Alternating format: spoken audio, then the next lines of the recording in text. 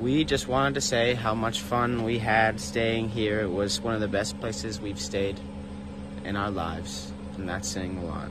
And the nature was incredible, and the goats were wonderful, and the dog was wonderful, and everything was amazing. And Constancia was fantastic. She told us all the best swimming holes.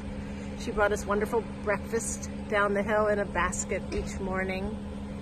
It was, the yurt was in an idyllic spot overlooking a valley with mountains in the distance and stars at night.